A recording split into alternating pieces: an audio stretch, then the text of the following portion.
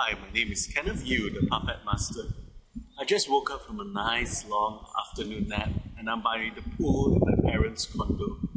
So yeah, I'm on a visitation and a holiday to Sabah right now, which is actually my hometown, Sabah, which is in Borneo in Malaysia. And I'm just going to present to you even part one of the whole internet marketing revolution guide. Uh, a series of videos that I'm doing just as a thank you gift for being my subscriber. And this video is titled The One Man Army The Death of the One Man Army. And what happens is, a few years ago, a lot of internet marketers have been good.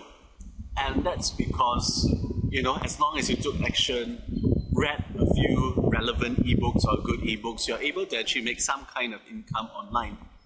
And as a result, college students, work at home moms, and a whole series of hobbyists have actually made money in their bedrooms from online marketing. In fact, I, I knew a whole bunch of people that made money from EzineArticles, um, just using bum marketing and article marketing, and were able to make the craft even a full time income from that.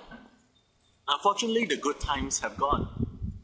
And there are several reasons for that. The first reason is because there's way too many people in the field. When it used just to be me, you, and several other people, now there's like, you know, thousands of people, mainly because, you know, the economic times are really bad. And as a result of that, everybody is flooding online in the hope and believing the myth that, you know, in, in online marketing, you don't need any capital, you don't need any marketing acumen, you just need a computer and you need to click a few buttons.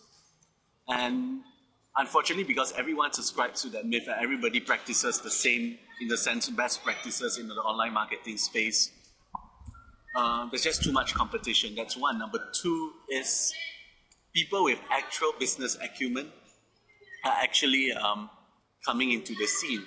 And those are people who ran online businesses before, know that to be able to do the things that you're able to do in online marketing, you need an, a team of people, you need an army of people. If not, you know, one person can only get you so far. One person can only write five articles a day. If you have three, four writers writing, pumping 20, 30 articles a day, you do better in the backlinks and you do better in, you know, your affiliate marketing and all those things.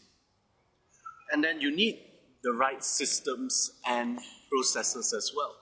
I mean, thirdly, if you're you need to treat this like a business. You need to treat this like so as if you're franchising from a McDonald's or you're franchising from a Wendy's.